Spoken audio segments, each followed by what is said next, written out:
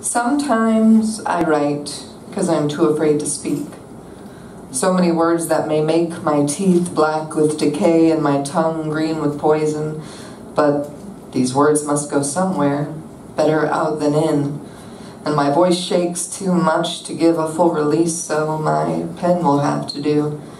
Sometimes I write because I want everyone to know how happy I am, how I've learned one more lesson and I can't stop myself from reaching out to the entire world all at once, all selfish, blistering with joy, how sometimes I want everyone to feel a bit of my love because it must go somewhere, better out than in, and my chest shakes too much, my heart unable to catch breath from being so full, and at other times it is simply a salutation to the night, not a word meant for anyone but me and my God.